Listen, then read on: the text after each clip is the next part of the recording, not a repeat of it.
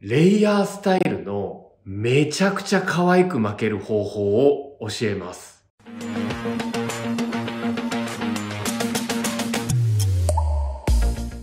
はいどうも皆さんこんにちは、渡辺です。今回はレイヤースタイルのおしゃれに見える巻き方のご紹介です。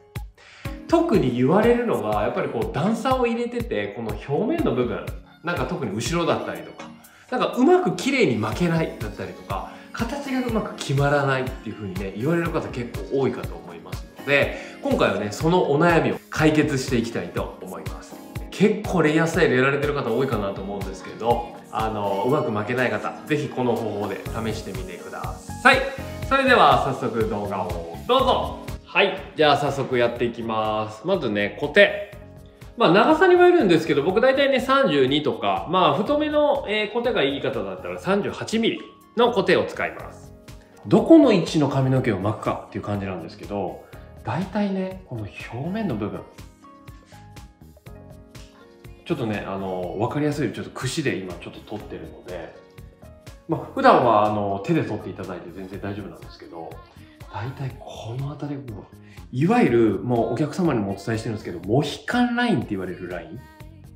を一応取ります。こっちがね、お顔で。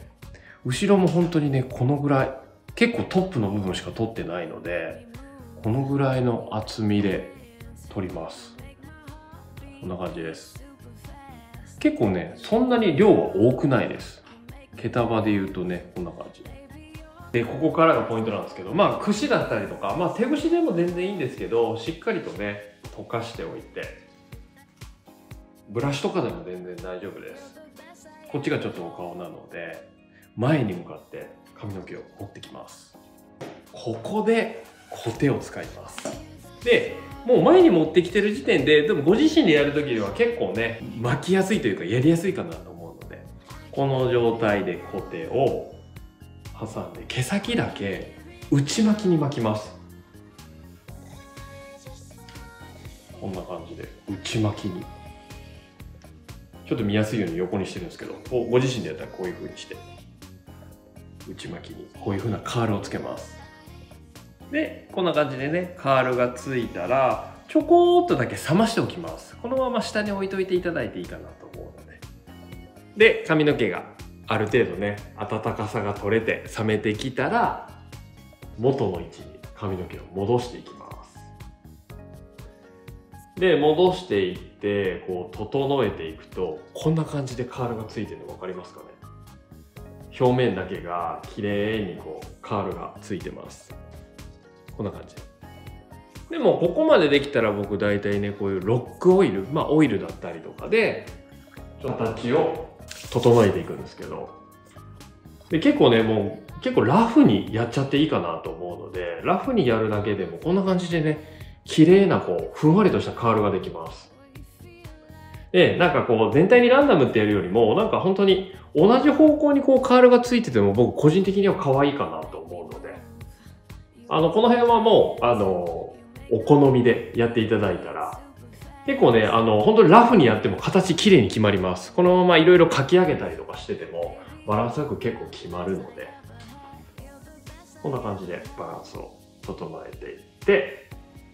あとね、毛先の部分とかは結構ね、皆さんもう巻く方上手な方が多いので、まあ、最近外羽にね、巻く方も結構多いかなと思うんですけど、まあ、この辺の部分とかも、まあ、しっかりとね、こう、スタイリング剤、オイルだったりとかをつけて、バランスを整えていったら、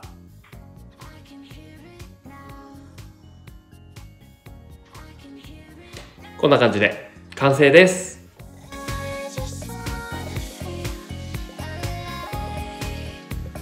はいということでこんな感じでやってみました。もうもうねポイントとしてはねほんと前に持ってきて内巻きに入れる。もうただそれだけです。結構ね、あの、後ろは後ろで巻かないといけないだったりとか、横は横で巻かないといけないっていう風にね、思われてる方結構多いんですけど、もう一色単にまとめちゃって、もう目の前に持ってきて内巻きに巻く。ほんとそれだけで、こんなような感じで、綺麗なね、バランスのいい形になります。なのでね、ぜひ皆さん騙されたと思って、皆さんやってみてください。はい。それではまた次回の動画でお会いしましょう。